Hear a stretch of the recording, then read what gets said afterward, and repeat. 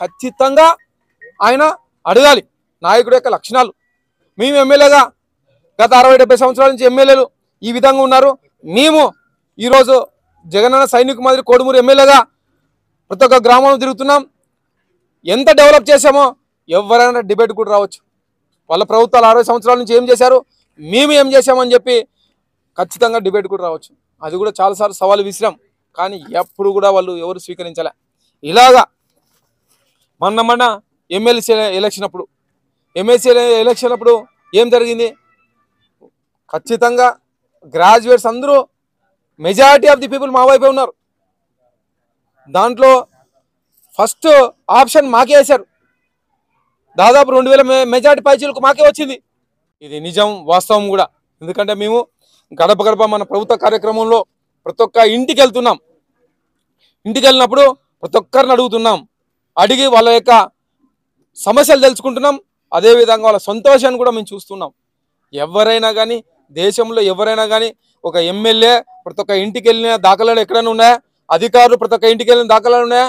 ప్రజల దగ్గరికి వెళ్తే అంతో ఇంత వాళ్ళ బాధలు పంచుకుంటే ఆ బాధల్ని ఎంతో అంత సమస్యలు పరిష్కారం చేసుకుంటూ ఉంటే బాగుంటుంది ఉద్దేశంతోనే ఇంకా రెండు సంవత్సరాలు మూడు సంవత్సరాలు ఎన్నికలు ఉన్నా కానీ మా ముఖ్యమంత్రి జగన్మోహన్ రెడ్డి గారు ప్రతి ఒక్క ఎమ్మెల్యేని ఇంటికి పంపించాడు ఏ సహా ఏ రాజకీయ నాయకుడు సాహసం చేస్తారా ఇవన్నీ?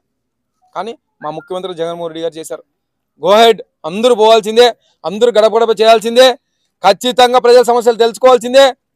ఏదైనా ఉంటే మనం నోట్ చేసుకొని మళ్ళీ సమస్యలు తీర్చాల్సిందే అని ధైర్యంగా మాకు చెప్పడం మేము ప్రతి ఒక్క ఇంటికి వెళ్ళడం మేము ఆ- కార్యక్రమం కూడా బ్రహ్మాండంగా దాదాపు నిన్నటికు నూట నలభై మూడు రోజులు అనుకుంటా నేను చేయడం.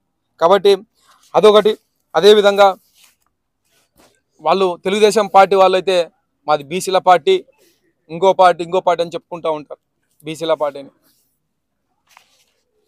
ఎప్పుడైనా సరే ఒకప్పుడు రామారావు గారు చేసినారేమో కానీ చంద్రబాబు నాయుడు గారు వచ్చిన తర్వాత ఒక ఈక్వేషన్ ప్రకారం ఎక్కడ చేశారా?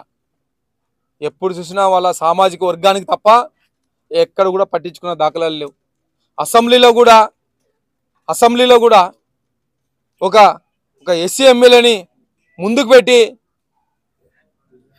గొడవ చేయడానికి ట్రై చేస్తుంటాడు ఆయన.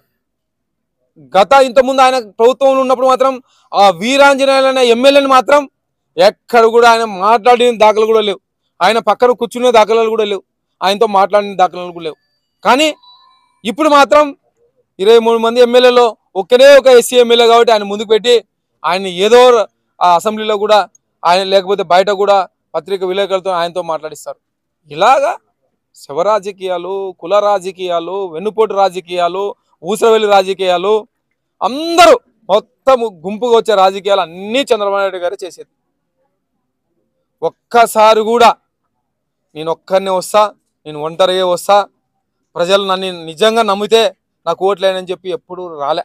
రాడు కూడా ఇంకా ఇప్పుడు కూడా భవిష్యత్తులో కూడా రాడు ఇంకా. వాళ్ళ కొడుకు రాడు ఈయన కూడా రాడు. కానీ మా ముఖ్యమంత్రిగా జగన్మోహన్ రెడ్డి గారు మాత్రం పార్టీ పెట్టినప్పటి నుంచి కూడా నేను సింగిల్గానే వస్తా. నేను ఎవరు సపోర్ట్ తీసుకోను. ప్రజలు నిజంగా నేను మేలు చేస్తే నాకు ఓట్లేయండి. ఏ మీటింగ్లో చూసినా అవే